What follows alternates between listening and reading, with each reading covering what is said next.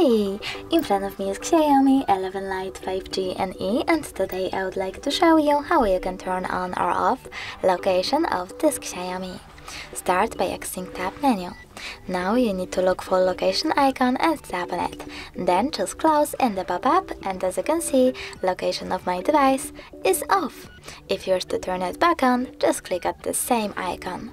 You can also go into settings, scroll down, choose location here and manage it by tapping on the switcher next to location access feature.